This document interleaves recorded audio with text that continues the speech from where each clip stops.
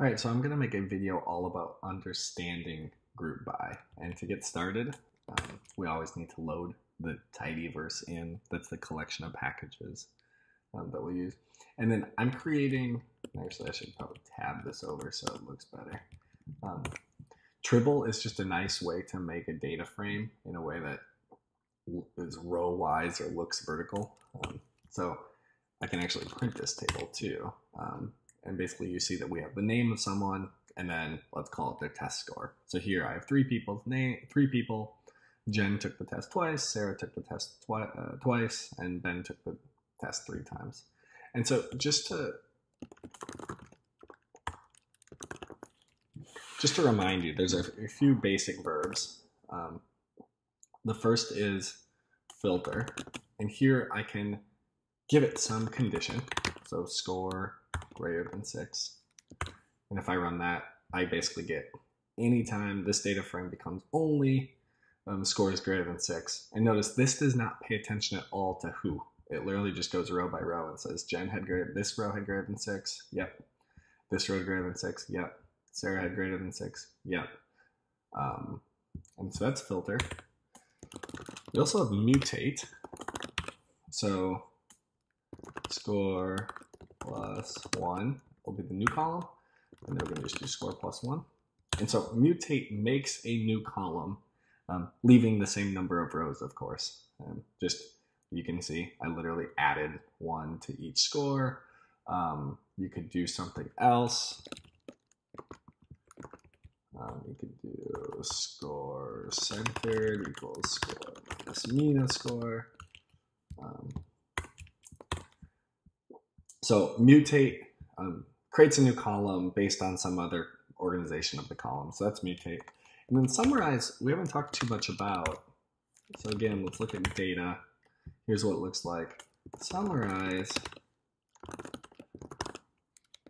actually compacts it. It, it flattens it to one row. And so I got the mean score. I could have also gotten the SPO score.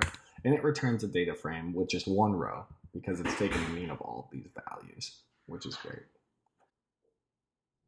And then to keep going here, so now what I'm going to do is I'm going to add this group by feature. And so I'm to say, what if I did, so data group by, and I'm going to basically say, I want to actually have this listen. I want to think about, let's print the data frame again. I want to think about Jen as being one group of scores, Sarah as being another group of scores, and Ben being another group of scores. So I'm going to do a group by name. And notice if I run that, nothing changes about the data frame, but it tells me that I have three groups um, based on the name column. And so uh, something underneath the data frame has changed, but nothing about the actual um, data so far. And so if you look at here, just pulling this over from the article I wrote on this, and I borrowed this from our Bootcamp. Here was our original data frame with name and score. And then each group became based on the name. So there's going to be a separate data frame for each of those. Um, so this would be the Jen scores, this would be Ben scores, this would be Sarah scores, etc. So you think about it, kind of the data frame thinks of itself as splitting off into separate data frames, but it doesn't really show that to you. Um, right keep this over here because I think it's valuable to keep in mind. And so if I do this data group by, and let's actually start using the right for each one. And now if I do summarize uh, Mina score, now what it's going to do is for each of these data frames, so this is Jen, this is Sarah, and then this is Ben, it's going to give me the mean for each of those. And so what summarize does is it returns one row for each group. I'm going to say that again because it's really important. One row for each group. Because underneath, it really has three different data frames that it's thinking of. And so it's taking all the values in a column and it's sort of flattening that into one value. So each group, take all values in a column, flatten it with some function. It could be the mean, it could be the standard deviation, etc.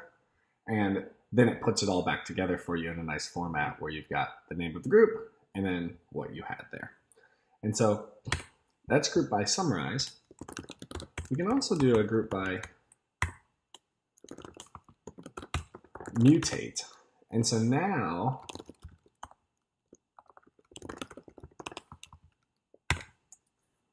what it does is it still thinks in terms of these groups. It still views Jen as a group and it operates on Jen first. And so it says for Jen, create a new column by mutating.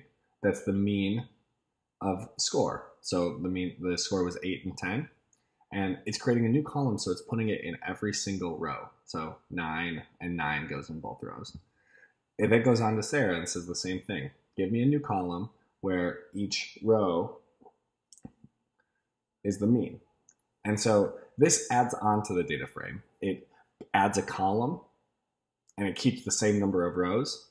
Whereas if you remember summarize, flattens to be one row for each group.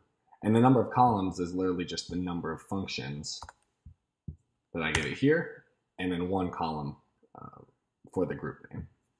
The last thing I'll show you, so that's mutate, to look at it one more time. One other thing we can do with mutate is after I mutate, I could do, I could say, like, I only want people that were high scoring. So let me only take people where the mean was greater than seven. And I'm only going to get Jen here because it's filtering based on this mean column. And so it basically said, put it into groups for each person, create a new column with the mean, keep the same number of rows as the original column, and then filter um, those columns. So it's cool. Like I love writing the pipe like this because you can step through it. Okay, I create the groups, I create the mean, and now I filter.